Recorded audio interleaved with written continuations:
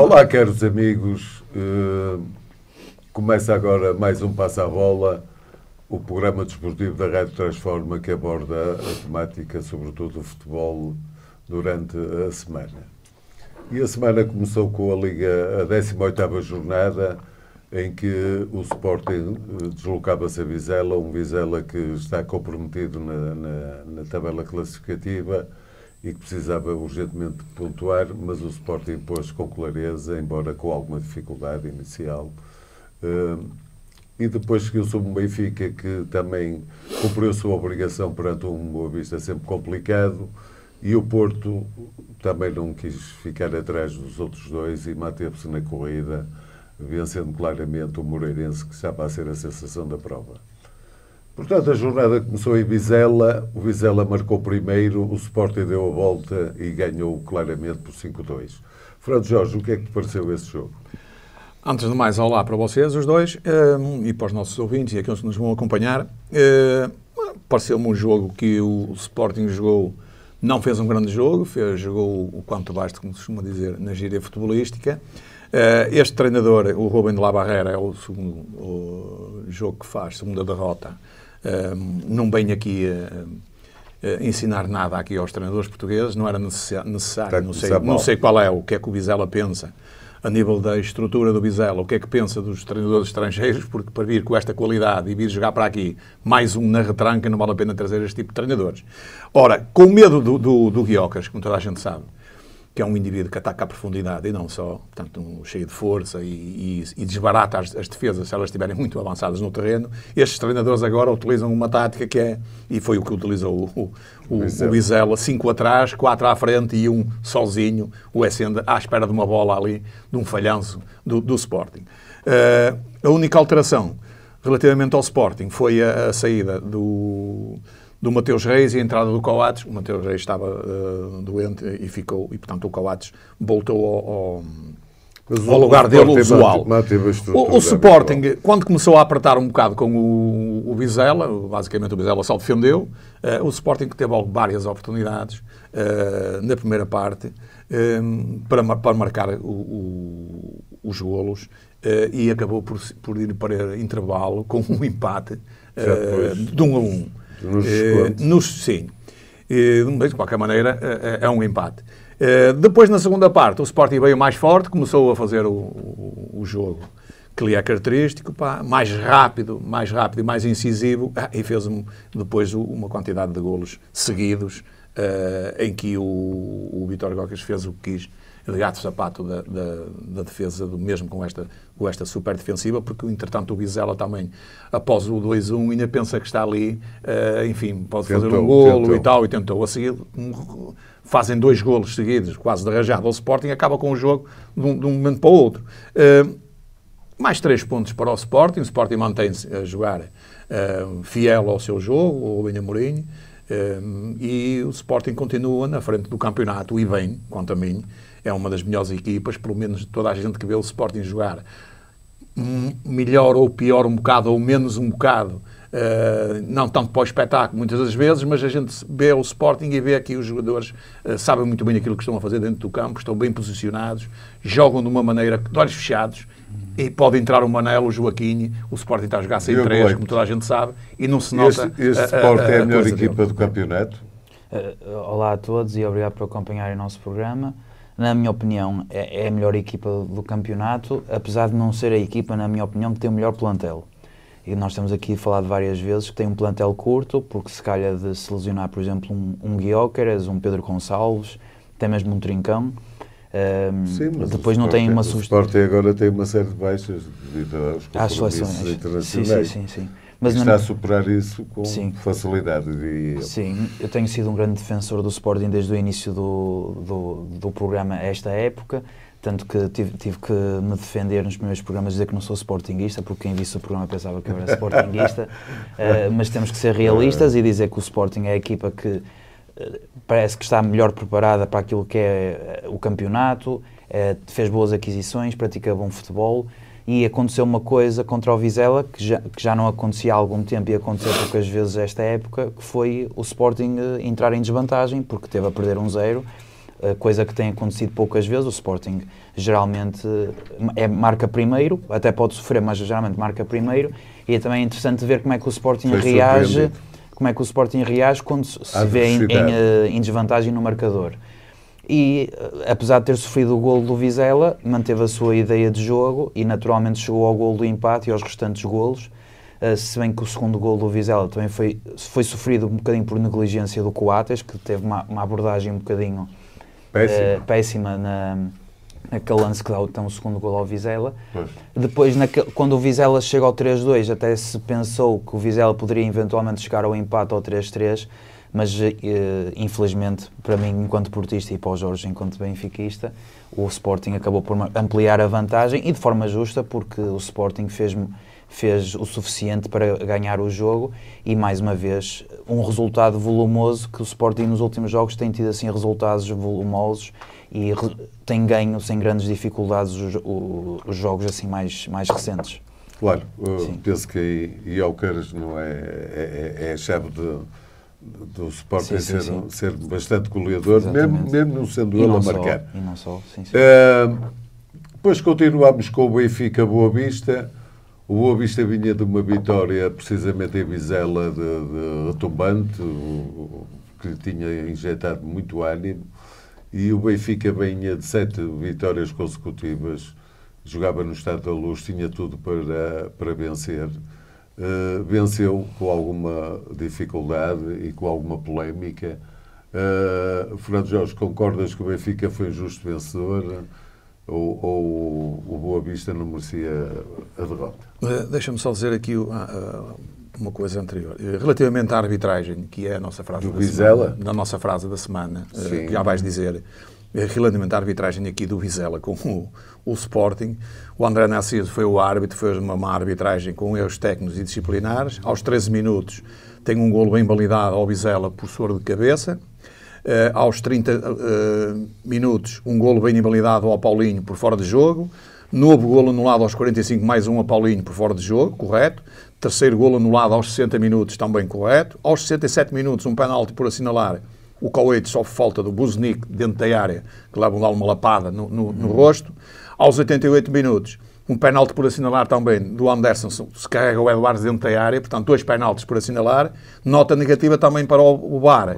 Rui Costa, mais uma vez, outro falhado na arbitragem, porque falhou o auxílio em duas situações flagrantes. E agora podes dizer. também o auxiliar. Podes dizer agora a frase da semana. também o auxiliar. E já vamos ao Benfica. Mas o Rui Costa, pelo que a transmissão uh, nos foi dado ouvir, o Rui Costa tinha também a, ajudá-lo um, um, especialista em, em fora de jogo. Sim, hum. pois tinha, mas não chegou. Assim, assim, e mesmo assim, como não chegou. E mesmo, assim, assim falharam. Então, por isso é que dá origem falhou, à nossa frase da semana. Uh, vai entrar aqui óticas que ao bar e aos árbitros oferecem um par de óculos, na compra de um par de óculos oferecem uns binóculos para eles ainda verem melhor. Hum. Isto é uma uma brincadeira, mas uh, assertiva, com lógica. Assertiva. Agora, vamos ao em relação Benfica. ao Benfica. Ora bem, o Benfica uh, recebeu ao Boa Vista, que é uma equipa que não é fácil de vencer em qualquer campo, independentemente de ser no Bessa ou fora, uh, e aqui o Benfica empata com o, o Boa Vista em termos de adaptados. O Benfica tem o Morato adaptado e tem o, o, o Ausner uh, adaptado ao lateral direito e o Morato a lateral esquerdo. O Boa Vista teve duas lesões uh, ou fundamentais. O Malheiro não pôde jogar, portanto, lateral direito, foi para lá o, o Salvador Agra, e para a direita, e para a, direita para, a, para a esquerda foi o Luís Santos, ou o dos Santos, como ele tem na camisola. Portanto, é outro adaptado.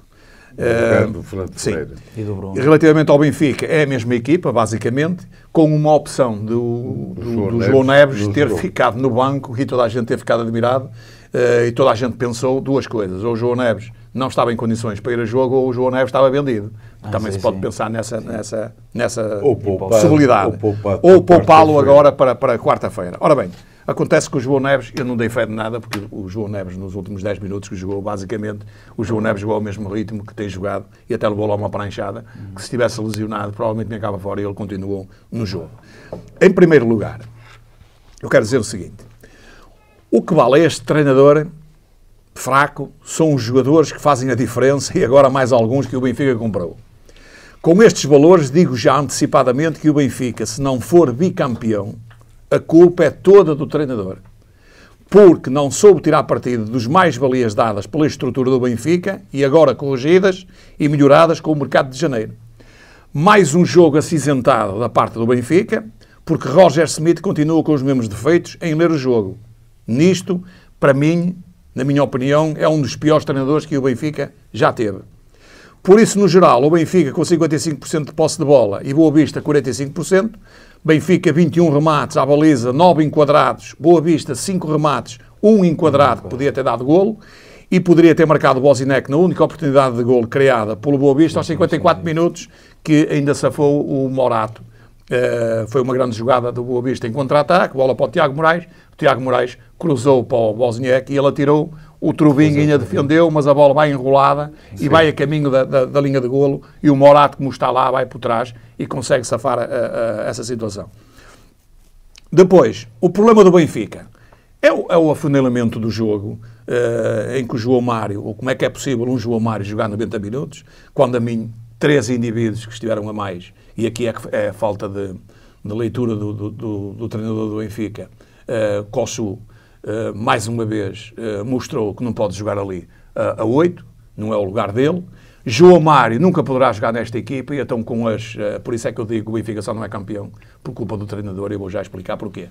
Com estas aquisições que o Benfica faz, eu não vejo lugar para o João Mário, muito sinceramente. Porque mesmo todos estes essa, indivíduos, mesmo e mesmo sem essa, uhum. ele nem na bancada tem lugar. Portanto, três indivíduos o, o Artur Cabral foi uma nulidade. Não sei se temos que ver o problema das, das voltas, porque ele anda sempre a escorregar e a cair sozinho. uh, tem situações flagrantes, nomeadamente aos 11 minutos, há um, uma, uma, jogada de um cruzamento em que aparecem três. O João Mário falha, o Rafa falha e o Artur Cabral, quase encostado ao poste, podia ter marcado. O Benfica tem mais oportunidades que o Boa Vista uh, e, portanto, podia ter resolvido o jogo de outra maneira.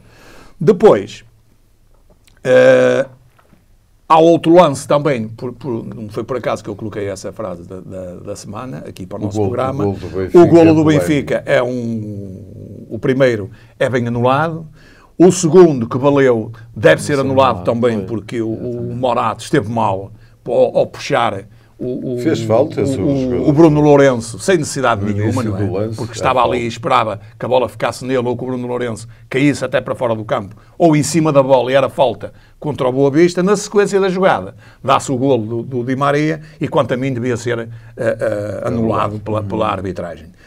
Mas o Benfica ganhou com mais, com mais um golo, acabou por marcar um golo limpo de mais um jogador que uh, já marcou mais golos com o Artur Cabral, Cabral em 50 minutos sim, sim, de jogo, que o Arthur já teve dois ou três jogos de coisa. Entrou o Musa depois a um minuto do fim. Vai ser o sacrificado quanto a mim mal. Uh, este treinador está bem mal uh, os jogos e tem passado por os píncaros da, da, da chuva. Certo que Boa Vista, tirando essa oportunidade, foi uma equipa que trocou a bola, teve 45% também de, de, de percentagem de posse da bola, o Benfica 55 mais 10% mais ou menos, porque o Benfica não foi pouco dinâmico e com três indivíduos lá dentro que têm que ser substituídos, porque não estão a dar o rendimento que é necessário, e o Benfica, se dissesse assim, não tem no banco jogadores à altura, tem, até já tinha o Neres, que o meteu um ou dois minutos do fim, embora venha de lesão, mas o Tiago Gouveia é indiscutível que neste momento tem que jogar no lugar do João Mário. E o jogo é outro. Mesmo o próprio Di Maria, que eu disse a semana passada, mantenho a mesma palavra, o Di Maria, para mim, foi o melhor jogador em campo, teve três ou quatro lances que eh, resolveu a, a, a, partida, alguns foram aqueles dos golos que foram anulados uh, por fora de jogo e faltas, que devia ser também. Uh, foi o melhor jogador em campo, o Di Maria, mas isso não chega. Porque o Benfica vai ter agora, com as aquisições, vamos falar mais à frente do mercado, jogadores mais que suficientes para o próprio Di Maria não jogar sim, sim, este tempo todo. Exatamente. E, portanto, mais uma vez o Benfica continua no, no encalço do Sporting, uh, ganhou os três pontos, meritoriamente, uh, independentemente deste, deste lance que só não é mais polémico, o Benfica marca um gol e acaba por ganhar por, por um, por um Diego Leite, sim, sim. Uh, se o árbitro ou o VAR, neste caso, tivesse assinalado ou, ou, tivesse chamado a atenção o árbitro para aquela infração de Morato e, portanto, hum. o gol seria anulado, pensas que o Boa Vista ia aguentar o empate? Eu, eu penso que o Boa Vista tinha, de alguma forma, o jogo controlado. O Benfica era muita parra e pouca hum. uva. Achas que o Boa Vista uh, sairia com pontos do, do estado de luz? É difícil de responder a isso. Claro que eu gostaria que isso acontecesse, não só por roubar pontos ao Benfica, mas também como simpatizante do Boa Vista, todos os pontinhos para o Boa Vista são importantes. Mas, independentemente disso, eu penso que no final do jogo, com aquela pressão que o Benfica costuma exercer nos, nos adversários e a precisar de marcar para ganhar o jogo, penso que seria muito difícil o Boa Vista conseguir segurar o empate ou, eventualmente, num contra-ataque, é que o Boa Vista conseguiria causar eh, perigo, como criou naquela ocasião que o Jorge referiu do Bozenic, que houve uma grande defesa do, do Turbino. Um, agora, eu penso que o Boa Vista não fez um jogo mau. Uh, claro que podia ter feito mais e ter tirado proveito de mais ocasiões de, para sair um contra-ataque e criar ocasiões de perigo, mas temos também de ser realistas e ter em conta as debilidades que o Boa Vista tem. Tem muitos jogadores lesionados, tem alguns jogadores nas seleções, portanto não estava na sua máxima força. Claro que estava super motivado depois daquela vitória espetacular contra o Vizela, mas também não podemos esquecer que estava a jogar na luz contra o Benfica e com uma diferença de orçamento de plantéis completamente uh, absurda. Exatamente. Uh, e, portanto, o Boa Vista, na minha opinião, também há de, é de ser referido que foi prejudicado pela arbitragem porque uh, está à vista de todos que o primeiro gol do Benfica surge de um lance de falta.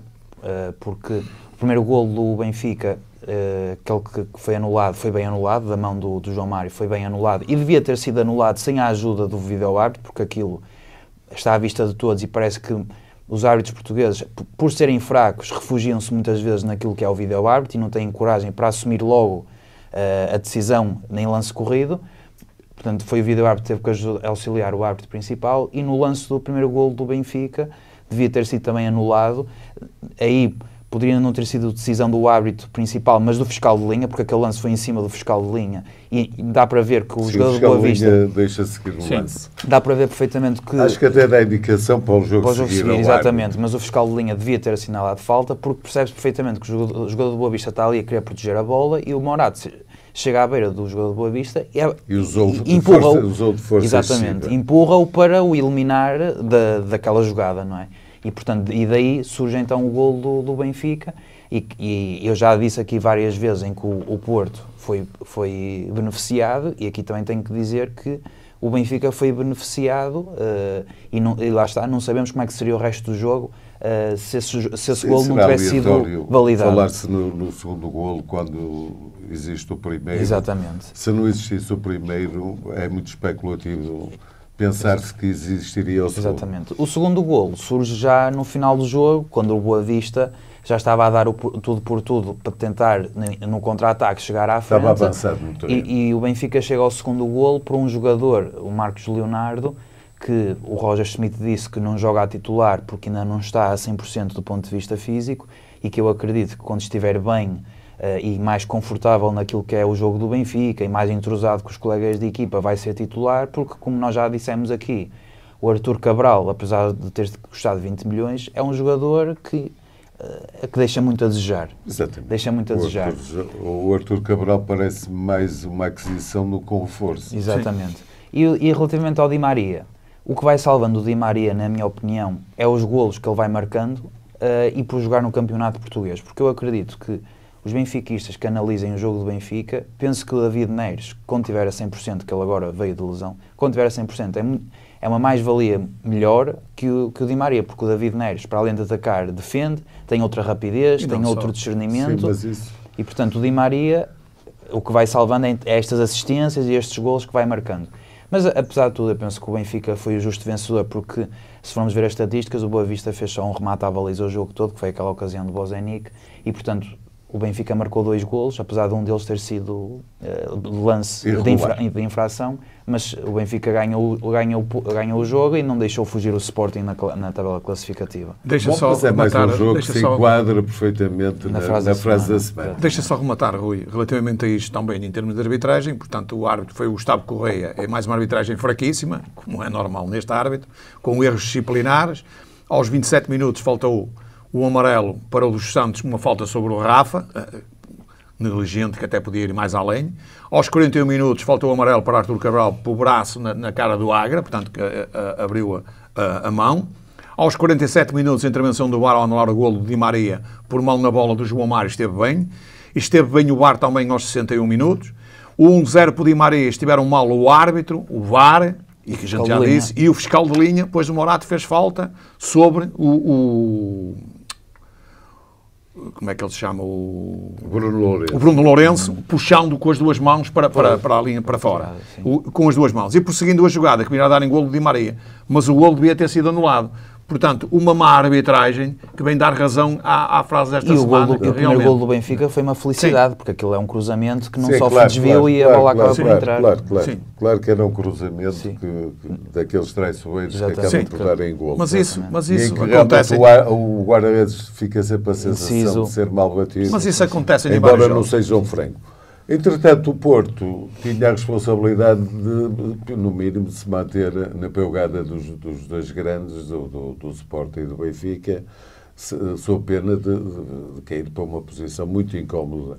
Uh, fez talvez a melhor exibição da época, é um Porto já consolidado e vamos, vamos esperar por um Porto sempre. Uh, uh, resiliente e nunca desistindo de, de, de, conquistar o título. Sim. Este Porto já te parece mais o teu Porto, não? Sim, sim, já, já me agrada mais, precisamente porque andam a jogar os melhores jogadores e aqueles jogadores que uma pessoa não percebia o porquê de estarem no banco, muitas vezes estarem na bancada. O Galeno, que houve aí uma altura que não jogava. Estava a o, o Nico Gonzalez, que não jogou no sábado, mas uh, também não, não contava. Uh, portanto, o Francisco Conceição, que não jogava a titular, entrava sempre assim aos 60 minutos, 70 minutos, e portanto... E um Vendel, um Vendel goleador. Mas já, já, já, já, vou falar. O Sérgio Conceição percebeu no jogo do Boa Vista que, para além da exibição fraca que o Porto fez no Bessa, percebeu a contestação de, por parte dos adeptos e foi obrigado a, a mudar a, a ideologia, a, a reformular-se, não é? E, portanto, desde o jogo do, no Bessa, que o Porto tem vindo em crescendo em, em todos os jogos, taça de, taça de Portugal, agora no campeonato também, um, foi um jogo em que o Porto fez aquilo que não tinha conseguido fazer até, até, até esse jogo, que foi ser 100% eficaz. Porque já não me lembrava da última vez que o Porto ganhou um jogo por 5-0. O, o, Porto, nesta época, era sempre jogos sofridos, 1-0, 2-1. Claro. Portanto, ganhou por 5-0, não sofreu, que também é muito importante, porque o Porto andava sempre a sofrer golos, não sofreu, e, e, não esquecer que foi contra um Moreirense, que é uma das equipas sensação deste campeonato, que está a fazer um excelente campeonato, tem uma boa equipa, um bom treinador, penso que até vai em, sexto ou sétimo lugar. E em sexto. Vai em sexto, sexto portanto vai no topo da tabela. Até esperava, sinceramente, que, Era uma surpresa. Que, for, que, que, fosse um jogo assim mais competitivo, de parte a parte, mas ainda bem que o Porto marcou, criou ocasiões, concretizou as ocasiões e, eh, para além de satisfazer os adeptos, uh, inspira confiança para os jogos que É o melhor Porto desta época, Fernando Jorge? Sim, uh, vamos lá ver. Uh, eu concordo com tudo que diz ali o, o Diogo, mas temos que ver uma coisa. O Sérgio Conceição não mudou só por, por mudar ou por achar que o Porto devia jogar de outra maneira. O Sérgio Conceição mudou tão bem quanto a mim, e vamos verificar isso quando acontecer a chegada do, do Taremi da, da Taça Asiática e do Zaidu do, do, do se ele vai manter esta equipa ou não, e então o Taremi vai para o banco e o Zaidu também. O Endon, para mim, fez uma das melhores exibições, porque realmente o, o, o Moreirense trocou bem a bola, mas o Moreirense também perdeu a ponta de lança. Uh, que era um indivíduo que estava a fazer golos, eles venderam-no, uh, e portanto sim. não tem, não tem uh, finalização. Notou-se isso. Na primeira parte até jogaram bem, lá os primeiros 20, 30, 35 minutos. O Moreirense trocou bem a bola com o Porto. Teve dificuldades o Porto em, em criar situações de golo, criou uma ou outra. Uh, o Porto foi mais categórico. O Porto joga agora mais como é que eu vou dizer, ganhou espaço porque joga mais por fora, não é? Uhum. O, o, Francisco Conceição e o Galeno, que andavam no banco, uh, não eram titulares indiscutíveis. O Galeno era, mas a partir de uma certa altura uh, deixou de ser. Uh, abre mais o jogo e o Porto tem, expande mais o jogo. E, portanto, e o PP no lugar aqui do, basicamente, do Taremi, não é? Sim. Auxiliar o Evanilson, que está em forma também. relativamente a este jogo, é um jogo muito parecido com o que o Benfica fez na, no Estado da Luz contra o Rio Ave em que acabou por dar depois uma, uma cabazada ou marcar bastantes golos. Uh, não se notou isso na, na, partida. Aqui foi quase igual. Uhum. O Porto, na segunda parte, quantas vezes que ia à baliza, fazia os golos. Sim, sim. O guarda-redes do, do, do Moreirense, deixa-me dizer, até tem estado bem, esteve muito mal neste jogo, pelo menos três golos Uh, ele podia ter feito mais qualquer coisa. Mas o Moreirense uh, não, teve, não teve aquelas oportunidades. Não, não, não, não. Não, não teve porque falta, falta o ponta de lança. Faltou-lhes o ponta de lança lá na frente, jogou com o Alanzinho e o Pedro Aparício e tal. Trocam a bola, mas não tem profundidade esta, esta equipa. Portanto, o Porto ganha bem, uh, tomou bem conta do jogo, mais árbitro, ofensivamente e tal. Jogo. O único aqui foi a única arbitragem do Luís Godinho, para mim, de momento, é o melhor árbitro fisicamente e tecnicamente que está a, a ter bons jogos e a desempenhar bem, bem os jogos. Um, e, portanto, teve uma arbitragem bem acompanhada Correto, pelo, pelo VAR Rui Oliveira, em que pode ter falhado por uma, um amarelo ou uma situação oh, qualquer, deixa, mas nada de grave. Deixa-me só dizer que, Sim. enquanto portista, tenho que falar disto, que na, na quarta-feira foi a, a, oficialização da candidatura do André Vilas Boas à, à presidência do Porto eu assisti à, à, à conferência, à, à, cerimónia da apresentação claro, cerimónia. e gostei muito porque notou-se que foi um evento preparado. Andavam a criticar que o Vilas Boas nunca mais oficializava a candidatura e ele sempre disse que estava para breve, estava para breve e percebeu-se porquê, porque foi algo preparado. Uh, o discurso foi muito positivo, disse coisas muito, muito importantes para o, para o futuro do Porto e, acima de tudo, quer, quer eh, haja pessoas apoiantes do Pinta Costa, quer haja pessoas apoiantes do André Vilas Boas e do outro candidato, ou outros possíveis candidatos claro. à, à, presidência. Já um. Eh, as, as, pessoas têm que deixar uh, o espírito livre de decidir, portanto, de livre decisão. A democracia a funcionar no clube. Não tentar influenciar aquilo que são as opções, de, as intenções de voto dos sócios do, do Porto. E acho que também é importante uh, as pessoas não, não, não andarem aí com posturas de intimidar e de, e de quererem pôr as outras pessoas receosas. E, portanto, em abril vamos ver uh, aquilo que será o futuro do Porto. Agora, eu tenho que dizer que é preciso mudanças e, e penso que o André Vilas Boas vem com umas ideias muito, muito positivas para transformar e, sim, e alterar o Porto. Gostaste, de, digamos, do discurso sim. e das propostas de André Vilas Boas? Sim, sim em que ele praticamente e, e, também se, se mostrou muito grato, sim, como todos os esportistas, a Pinto da Costa. E estavam lá figuras importantes, como o Maniche, o Jorge Costa, o Elton, o antigo guarda-redes do Porto, a família do Pedroto, que também é importante de referir. Portanto... E um antigo, um antigo diretor de financeiro, o Angelino Ferreira, que foi, sim, sim, foi, foi, um dos grandes obreiros dos primeiros anos da SAD do Porto. E fala-se que será ele o, a chegar ao departamento administrativo do Porto. Parte, a parte financeira. Sim, sim, em princípio. Pois, que realmente é o grande calcanhar é daqueles de, de, das direções de Pinto da Costa, uma vez que, a nível de títulos, ele é o mais titulado é da história do mundo. A única coisa a realçar aqui, deixa-me só dar aí só uma, uma parte, é que hum, todos nós temos que saber sair. Exatamente. E há muita gente que não sabe sair. E, e o Pinto da Costa, quanto a mim, uh, além do trabalho meritório que fez ao longo desses tempos todos e tal, já devia ter saído há 10 anos. E estes últimos 10 anos é um prolongamento e na balança ele está a desequilibrá-lo no mau sentido. E, portanto, os sócios do Porto vão às urnas agora, independentemente da, da, dos resultados desportivos, que também vai ajudar também em, em termos de, de, de, votação, a favor ou não do André Vilas Boas, acredito que o Porto está numa fase de, de transição, muito sinceramente. Por aquilo que eu eu levo a perceber, eh, os Super Dragões vão ser poucos, provavelmente, para evitar uma possível derrota do Sim. Pinto da Costa nas, na, nas próximas eleições. Sim. É a minha opinião. A minha opinião, ao contrário, é que se Pinta Costa se candidatar, vai, volta a vencer. Hum. Bom, entretanto, a semana vai prosseguir, e vai prosseguir não com a, com a Liga Betclic, mas sim com a, a Allianz Cup. Uh, Quarta-feira, Estoril, uma vez que é a grande surpresa de, deste, destas meias finais, digamos assim, eliminou o Porto na fase de grupos. O Estoril vai defrontar o Benfica e depois será outro grande embate Braga-Sporting.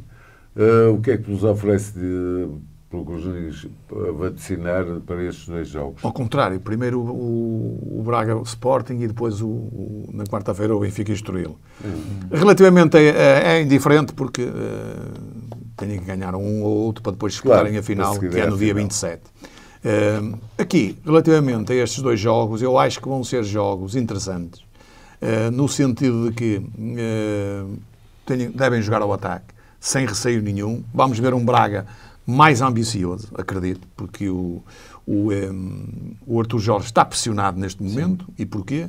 Porque em termos classificativos o Guimarães está à frente.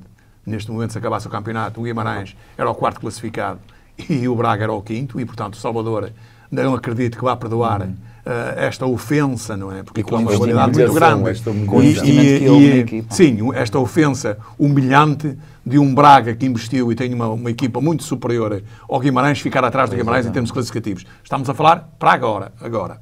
Uh, portanto, acredito que vai ser um bom jogo renhido entre o Braga e o Sporting. Relativamente ao Benfica e Estoril. Mas o favorito para ti é... O favorito para mim é o Sporting, naturalmente. Acredito que o Sporting, que o Braga vai jogar aberto, o Goikers vai fazer, mais uma vez, uh, miséria, provavelmente. Vai ter terreno para isso.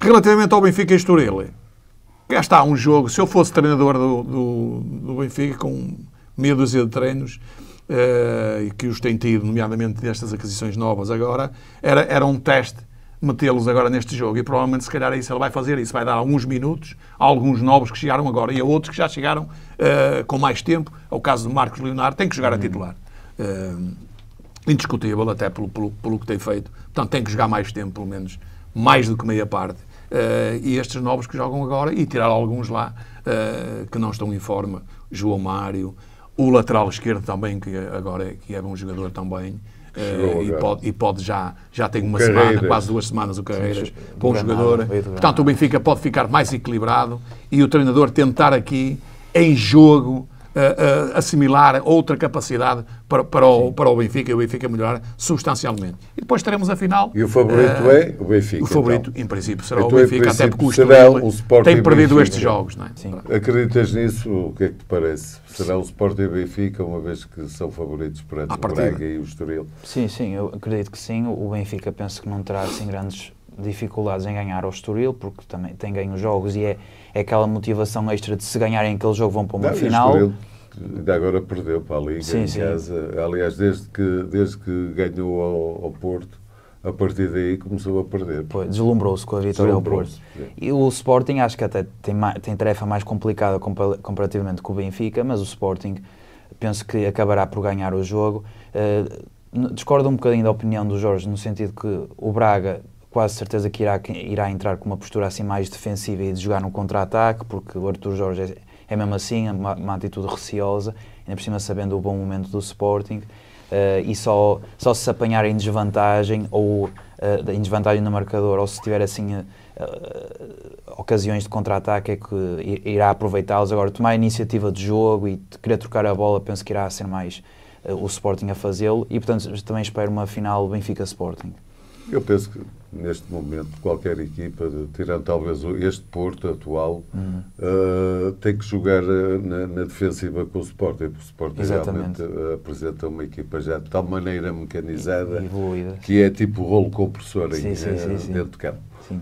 entretanto, houve um mercado de transferências, neste, neste particular o Benfica esteve sempre o mais ativo e acaba de contratar vários jogadores que é que, Fred Jorge, o que é que tens a falar sobre o mercado? Relativamente ao, ao, ao, mercado, não temos assim grandes, uh, grandes aquisições, tivemos algumas, nomeadamente do Benfica, que é o que está mais ativo. O Sporting uh, mantém-se na mesma, o Coba uh, praticamente já assinou, vai jogar só agora a Taça da Liga ou a Allianz Cup. E depois, e depois, vai para o Sporting e por 4 milhões é um bom jogador, eu já disse aqui dizes, as referências. É uma grande aquisição. Relativamente ao Benfica, o Benfica saiu o Chiquinho, foi ao Olympiacos, já foi apresentado. O Gonçalo Guedes, Vila Real, até já jogou este fim de semana, Sim. empataram. E o Jurasek, que também é o Offenheim, por empréstimo, que Sim, ficará com a opção de compra de 12 milhões. Vamos ver se vai exercer ou não e se o Benfica aqui perde oh, pouco relativamente ao que, ao que comprou. Acredito pois. que ele irá no Offenheim provavelmente vai-lhe dar mais minutos do que lhe deu o Roger Smith uh, e, e, até é capaz de, de, ficar lá. Não, não chegámos a ver verdadeiramente se ele é um bom jogador ou não. Melhor do, na minha opinião, melhor do que o Morato naquela posição é de certeza absoluta. Porque eu não acredito que o Morato, e aliás, o Morato fez um bom jogo neste último, neste último jogo, uh, mas não sai daquilo, não chega, é curto em termos de grandes equipas que apareçam ao Benfica pela frente e em termos Sim. de outros campeonatos. É curto. O Lucas Veríssimo, o Benfica teve sorte aqui, porque afinal trocou o, Corinthians, o Corinthians quando já estava tudo praticamente alinhavado, e o, e o preço de 8 milhões, o Benfica ganha mais um milhão, já dá para aqui para as aquisições que fez, provavelmente, e, e se calhar é contar com isto, que o Benfica faz uma aquisição uh, já Na vamos dizer Argentina. qual é, exatamente, por 9 milhões, portanto o Benfica ganha mais um milhão aqui. Relativamente às entradas, eh, o Marcos Leonardo já lá estava, já lá está. O Prestiani só pode jogar a partir do dia 31 de janeiro, que é quando faz os 18 anos, que é para assinar pelo Benfica, senão ainda não pode jogar, pertence ao clube anterior. O Álvaro Fernandes já lá está há, há uma semana e meia também. Vai provavelmente jogar a Taça da Liga, acredito que vai ser uma experiência aqui para ele. E o Benjamin Rolzheider, que é um, um grande jogador, eh, acredito que é mais um que vai fazer a diferença no Benfica. E aqui o treinador Roger Smith é aquilo que eu digo, vai ter grandes dificuldades de eh, conseguir pôr o 11 lá dentro e que não estejam alguns no banco desanimados. Pois. Porque eu agora vou ver qual é a qualidade deste treinador. Não é por acaso que o Chiquinho ontem fez uma declaração e não avançou mais, mas provavelmente vai avançar depois até ao fim, em que ele diz, perguntar-lhe porque é que ele saiu do Benfica agora, e ele disse, eu saí do Benfica agora porque havia muita coisa para dizer. Ah, Portanto, isto é uma incógnita. E nós percebemos muito bem o que é que havia para dizer. É que no Benfica, com o, o- este treinador, o Sr. Roger Smith, há os, os filhos e os afilhados. Naturalmente, eles estão à vista quem são os afilhados do Sr. Roger Smith. Porque lhes dá minutos, independentemente a outros que vão lá para dentro e jogam minutos, fazem uma falha ou falham, ou alguma coisa do género, e vêm cá para fora. Há alguns que jogam mal, mal, mal, mal e continuam. E outros nem sequer é dadas oportunidades. Temos um mais, mais, provavelmente mais uma saída por eh, desânimo, acredito eu, porque eu olho para a cara do Musa, ainda agora neste jogo, entrou a dois minutos do fim, eh, ou três, eh, olha-se para a cara dele e vê-se que está desanimado, porque passou de primeira a seguir ao Gonçalo Ramos, era ele, ele passa de segunda figura, no caso da saída de Gonçalo Ramos, para a primeira figura, agora passa para quarto, até o Tengsted é melhor do que ele, portanto, o Benfica vai acabar por dispensar o Musa, vai só jogar a taça da Liga e provavelmente o Musa vai sair e o Benfica vai ficar com o indivíduo que devia despachar, quanto a mim, que era o- Artur Cabral, ou tentar um empréstimo ou qualquer coisa do género e ficar com o Musa para, para, para ficar mais reforçado na linha da frente. O Benfica fica com uma quantidade de jogadores acima da média, jogadores que vão fazer a diferença e eu quero ver estes jogadores a jogar. Por isso é que eu digo que, em termos de plantel, o Benfica está superior, muito superior ao Porto, superior ao, ao Sporting. Só não está em termos de fio de jogo, porque o Sporting estão todos bem, mas nós temos que ver o seguinte: é que ainda falta a segunda volta do campeonato. E se o Gocas vai aguentar esta pedalada até ao fim, ou se não tem uma lesão, ou leva uma cartuchada ou alguma coisa do género, e poderá vir cá para fora. E o Sporting, sem o Jokers na frente, é um Sporting. Com o Jokers é outro. Exatamente. Completamente diferente. Portanto, vamos ver, ainda há é muito campeonato. Sim, sim. Relativamente ao Porto. Uh, saiu só o Fran Navarro. O, o David do Carmo já desapareceu até da B também, nem sequer, nem sequer é convocado. Acredito que provavelmente, não, não. É, Acredito que o, David do Carmo vai acabar por sair emprestado, não se sabe a quem, uh, mas o Porto neste momento está mais preocupado, ou sinto isso, mais preocupado com as eleições, agora em, em abril, do que propriamente em aquisições. E isto vai provavelmente enervar o Sérgio Conceição, que está um bocado com um plantel curto, Curto. em termos de centrais. E- e. O Braga, até agora também, nada. Tens alguma coisa a falar sobre o mercado ou passamos já para a Premier League? Só falar do Porto, que o David Carmo hum, fala-se do Olympiacos, que já estava certo no Olympiacos, agora vol- volta-se a falar da possibilidade do Olympique de Lyon. Uh, penso que seja importante para o David Carmo sair, tanto para o, importante para o jogador, para ele jogar e também ganhar o confiança para, para a carreira dele e também uh, para, o, para o Porto receber algum dinheiro. Uh, vai perder dinheiro porque pagou 20 milhões, no máximo se receber 15 milhões já é bom. Claro. E fala-se que o, o Sérgio Conceição, tendo em conta as debilidades financeiras do Porto, que, que quer apenas um central, Fal- falou-se daquele central turco que já falei, o Soyuncu, do Atlético de Madrid, que já ia ser oficializado no Fenerbahçe, andaram a circular eh, e fotografias dele em Istambul, mas ainda não foi oficializado. Portanto, não sei se poderá vir para o Porto. É um central que eu aprecio e que gostava, mas eh, sei que é caro. E mais recentemente, até hoje vem na capa do jornal O Jogo, o central o Yerry Mina, que é um central colombiano do, da Fiorentina, que já pertenceu ao Barcelona, teve muitas épocas no Everton. eh, nunca foi um central por aí além, é um central muito alto, robusto, mas penso que se me, tive- se me dessem a escolher entre o Soyuncu e o Mina, eu nem pensava duas vezes e ia para o Soyuncu. Agora Pois. temos que ver que o Porto está interessado nesse central porque está em final de contrato e o Porto neste momento as únicas possibilidades que tem para, para contratar jogadores é assim, jogadores baratos ou em final de contrato Claro. e não esquecer que irá contratar um jogador já de 29 anos, portanto não é um jogador jovem com uma perspectiva de futuro e depois vendê-lo por vários Fazer milhões mais para a frente, sim. E, como sempre, terminamos com a Premier League, que teve uh, uma jornada, digamos, desdobrada em duas, não é? Sim, exatamente. Temos poucos jogos para comentar, mas Sim. o Liverpool continua na frente. É? Sim, é- esta jornada, este fim de semana foi a continuação do fim de semana passado, Passado. portanto é a jornada dividida em dois fins de semana.